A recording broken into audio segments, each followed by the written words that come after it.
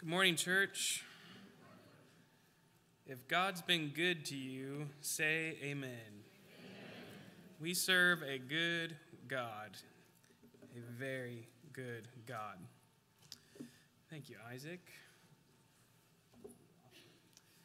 Thank you, Jason, for leading singing. Thank you, Isaac, for doing the Lord's Supper, and men for serving.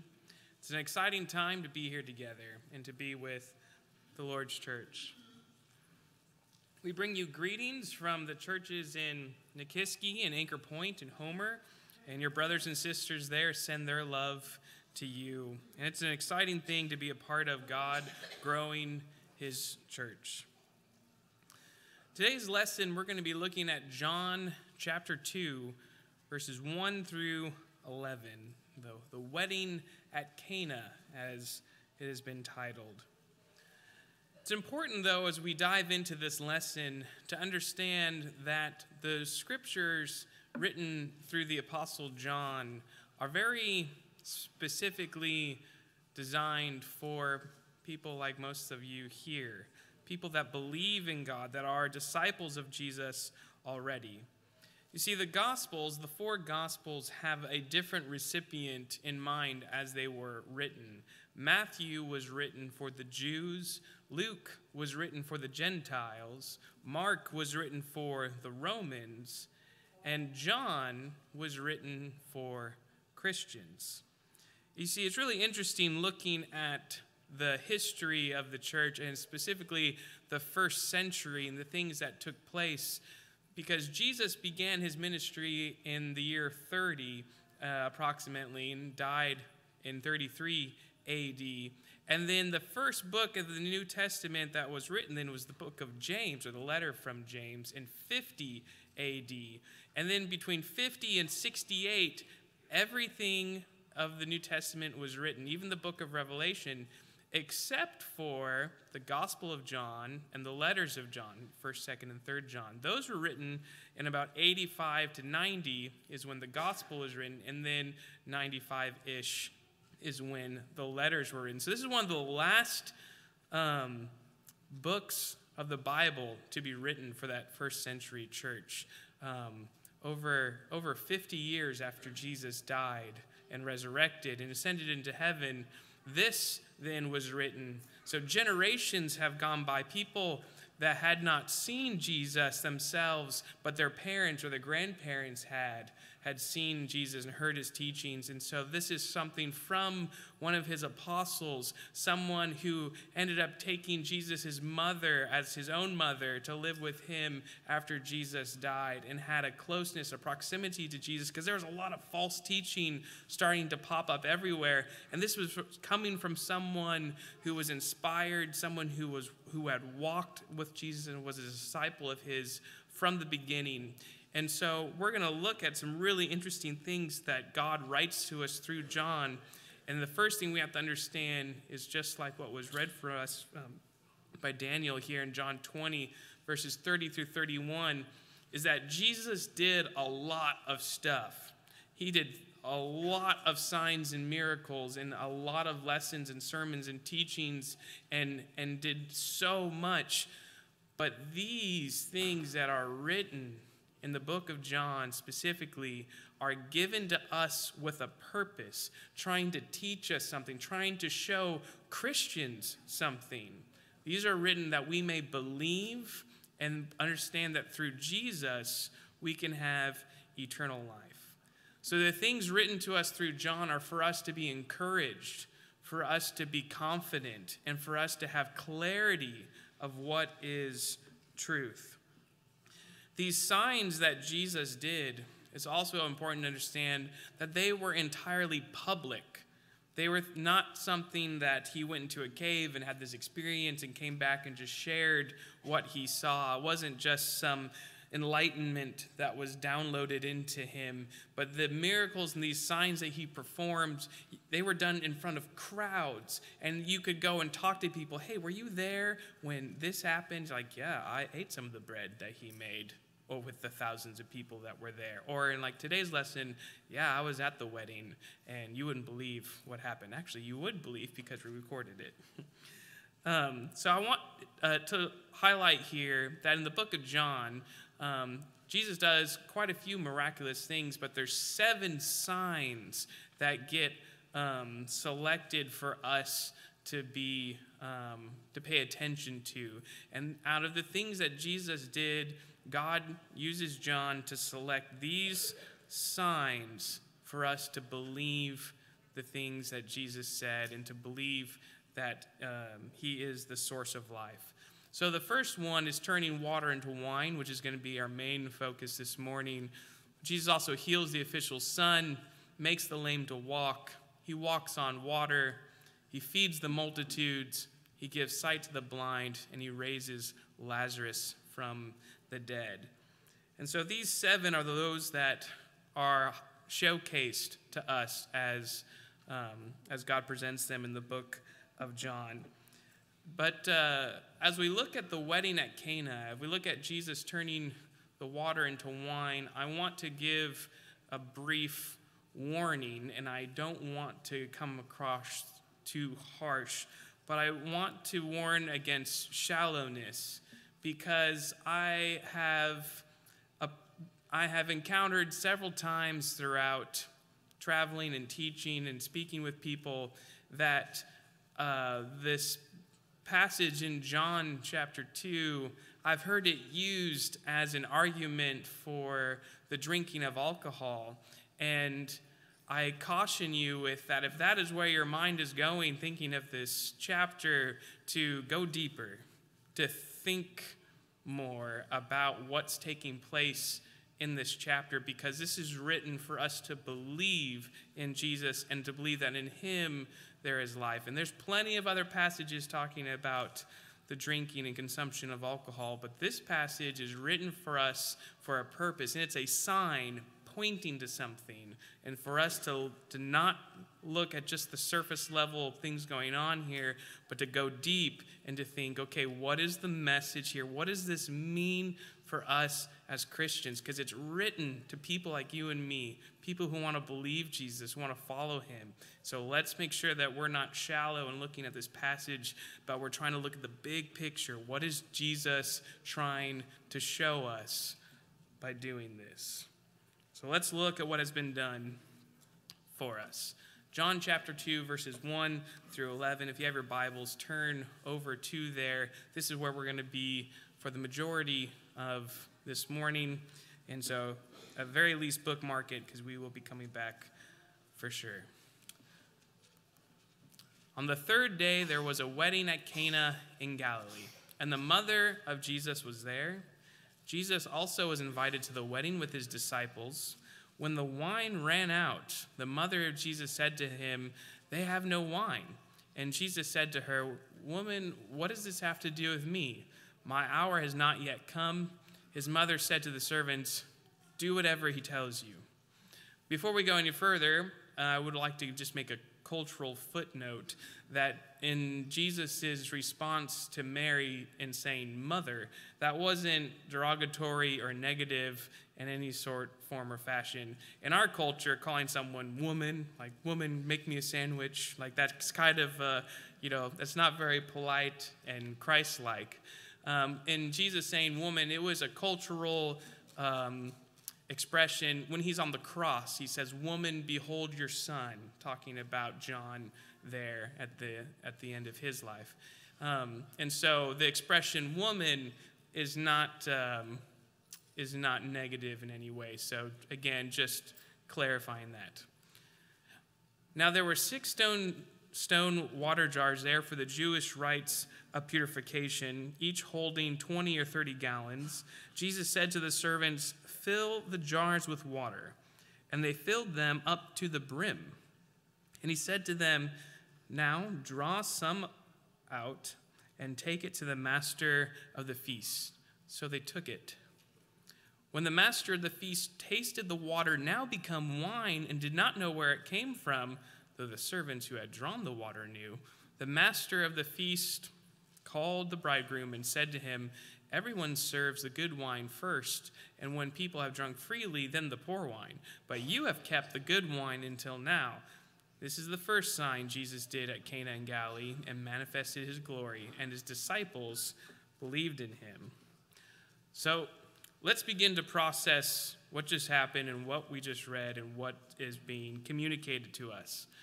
The first is that we need to understand that this is taking place in the context of marriage. Love is in the air. There's a wedding going on, and that's an important aspect to understand about uh, what and why um, things are things are happening. Who made marriage? It wasn't it wasn't something man came up with. We're involved in it, but it's not the way. It's not something we just uh, uh, created. God created and instituted marriage. It's, it's from His design. So we're dealing with the stuff God has made. God uses the relationship of marriage so much in Scripture to represent His dynamic with His people. You could look at Hosea. You could look at many of the parables of Jesus. You could look at what the apostles wrote about the church being the bride of Christ all through the Bible, the relationship, covenant of marriage, the institution that God made of marriage, God holds up and says, This is like me and my people. Or rather, me and my people are like marriage. And so he uses it as a template, as an analogy, as an example of God and his people is like husband and wife.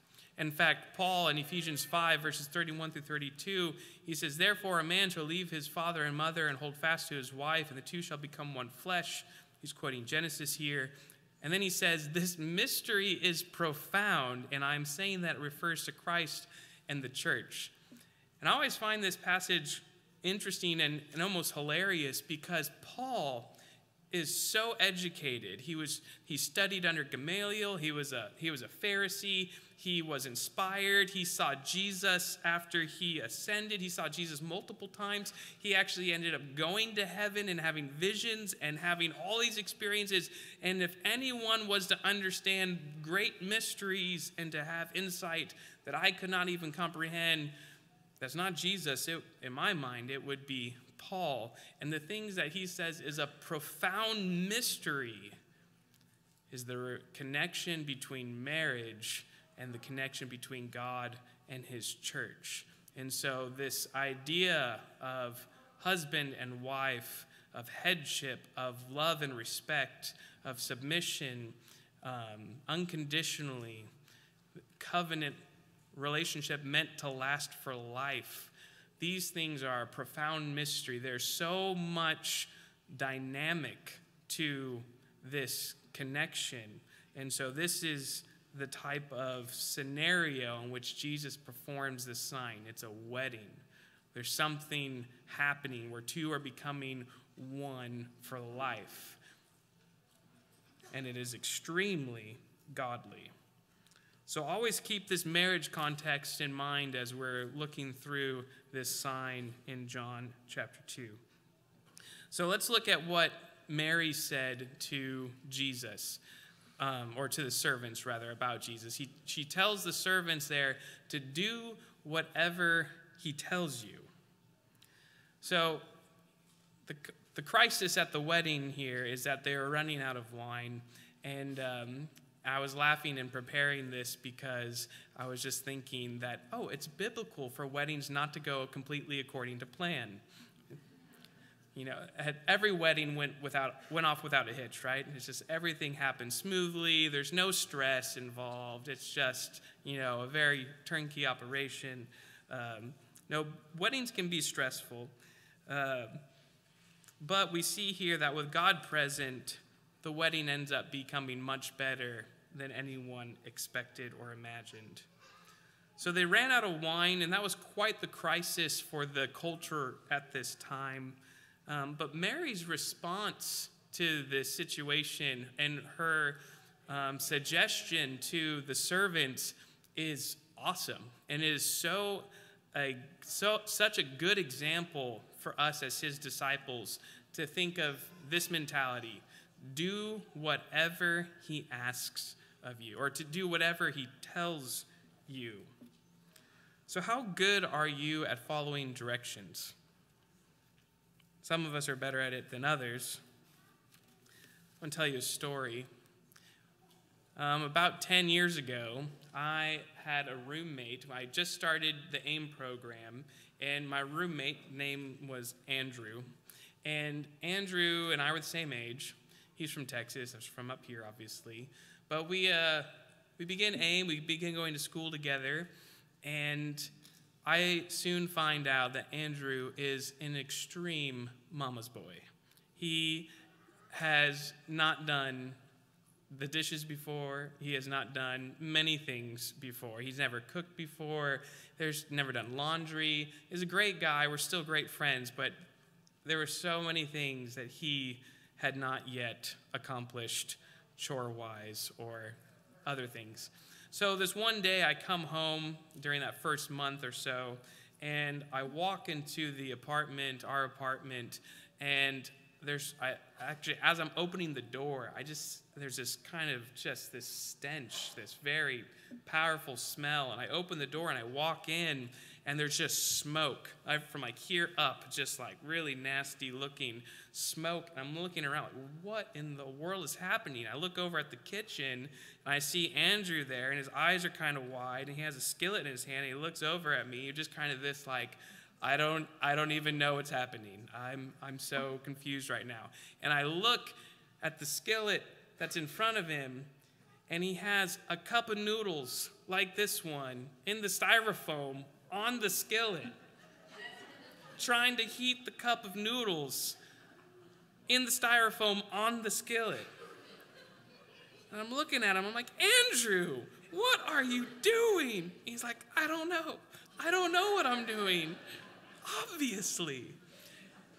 And so I'm trying so hard not just to fall over laughing, but trying to make sure our apartment doesn't blow, uh, burn down. And so I, I show him, I'm like, there's literally instructions on the styrofoam that you're melting. And so we laugh about it, but I can't ever forget that story because the instructions were right in front of him, but yet he didn't know what to do. And so instead of reading the instructions, he just thought he would wing it. He's like, I know that needs to be hot, and so I'm going to try to make it hot the way I think it should be hot. And the chaos ensues. And so often we think, I want good things. I want to connect with people. I want to love God. I want to worship God. I want to love my spouse. And we think, well, I'm going to do this the way I think this could work. You know, fire's hot, put thing on fire, it should work. Well, it doesn't work that way. Well, I want to love my wife, so I'm going to love her this way. Well, how did God say to love her? How did God say and instruct us to love each other? How did God instruct us to worship Him? And so we need to follow the instructions, not to be legalistic and lawyers, but just like what Mary said to the servants there do whatever he tells you. And we are to follow the instructions that are clearly written before us and to clearly follow the signs that Jesus performed, teaching us to be his people.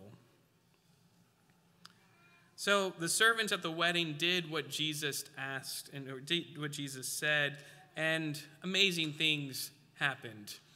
They took these stone jars, which were quite heavy, they carried approximately 30 gallons of water. And here's um, one of the stones, not from the wedding probably, but from that era, uh, almost 2,000 years ago. And so they filled these things up with water, but these, these jars, these stone jars, were used for the Jewish rites of purification. And so there's a we're going to dive into some really cool symbolism of why Jesus chose to do this sign this way to teach us things. He, but Jesus uses what the Jews had been using and had even created and altered and, and made complicated. Jesus uses their system, their um, tradition, to then accomplish something godly and divine and beyond expectation. So the servants do what Jesus says, and they fill the stone jars to the brim. And this idea of being completely filled, uh, I can't help but think of this Greek word called pleroma. And there's a couple passages or several passages in the New Testament that use this word, but it means completely filled. It means to the brim.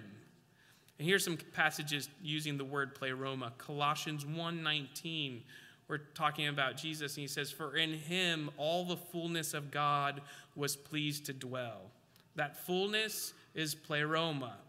The to the brim of God was pleased to be in Jesus. Jesus just wasn't godly, he was God.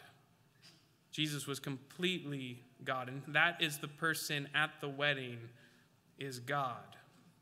We also see in Ephesians 3 16 through 20 that according to the riches of his glory he may grant you, which is you and me, to be strengthened with power through the, his Spirit in your inner being, so that Christ may dwell in your hearts through faith, that you, being rooted and grounded in love, may have strength to comprehend with all the saints what is the breadth and the length and the height and the depth, and to know the love of Christ that surpasses knowledge, that you may be filled with all the fullness, the pleroma of God.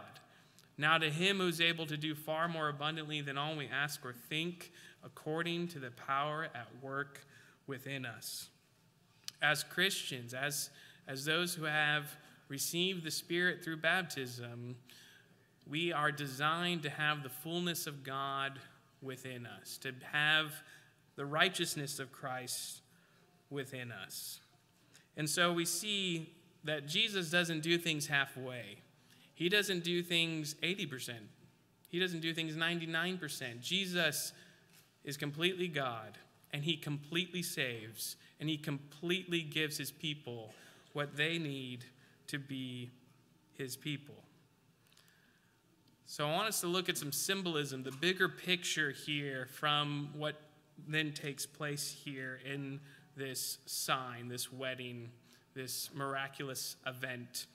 The first, again, is that this is public. This is something that Jesus is broadcasting to the world and trying to, to point towards something. The purpose of a sign is to let you know information and to locate something. If you're looking for McDonald's, you're looking for some big golden arches that make an M. If you're looking for Pizza Hut, you know the exact symbol, the sign that you're looking for. And I'm not just using food symbolism to get you ready to eat potluck. I'm just, uh, I'm just giving you an example. Signs are meant to point towards something. This sign that Jesus is doing is meant to point us towards something, to see a message that he is communicating. He turns the water in the Jewish purification jars into wine. Now, wine has a lot of symbolism in the New Testament and even in the Old Testament. What we just did a few moments ago, the Lord's Supper, water, um, or not water, sorry, wine, grape juice, the fruit of the vine, is representative, uh, representative of Christ's own blood. And water, wine, and blood are closely um, symbolic of each other. And so, what the Jews were using this water to wash themselves, to wash their hands and sometimes their faces for purification purposes, that, that jar is now full of, of blood, essentially. And it's going to be Jesus' blood.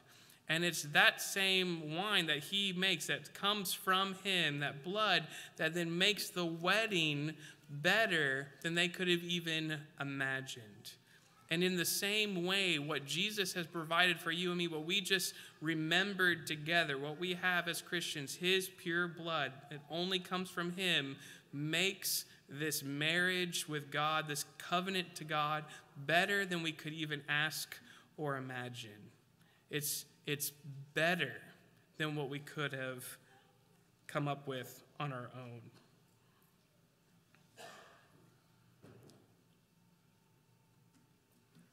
It's important also to understand from this sign. I mean, Jesus could have just snapped his fingers and made everything that everyone was drinking into the best wine they ever had. But he only does it once the servants have done what he told them to do. And then it became the wine that was better than they imagined. And so he uses his those who follow him. He uses those who follow the instructions that he lays out, that his commandments, he uses those who do the things he said to accomplish amazing things, things that come from him.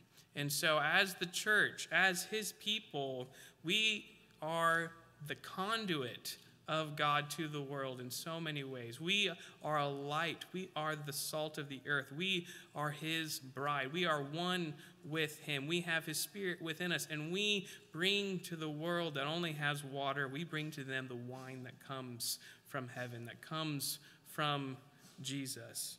And it is the responsibility of the church, it is the joy of the church to do what He has asked of us. And He has asked us to love Him with all of our heart, with all of our mind, with all of our soul, with all of our strength, to love our neighbor as ourselves. He has asked us to follow Him and to take up our crosses daily. This sign really happened, turning water into wine. It wasn't a couple hundred years later that people, someone said, I heard a long time ago that somebody somewhere did this. This was written by people that were there, that could have been um, fact checked. You could go and talk to people that were there, that had experienced this. It was done in the public for a purpose, and it was recorded for you and I to look back, to, under, to see this and say, wow, wow, Jesus. Jesus fills things up to the brim and he takes what we think is a crisis and he turns it into something beautiful. All of us, at some point in our lives, we find ourselves in crisis. And without Christ, life is a crisis because he's our only hope. And only someone like Jesus can turn this water into wine in a public situation. And so we see here that there is none other like Jesus. So this sign really happened, and in conclusion, let this sign fulfill its purpose by let us look to what the sign is pointing to that Jesus is God, the only God, and as his disciples, he is our God. He has paid the price fully, and he fills us fully with his righteousness and He has made things better than we can even possibly imagine. If there's any needs here in this congregation, please let them be made known as we stand and sing.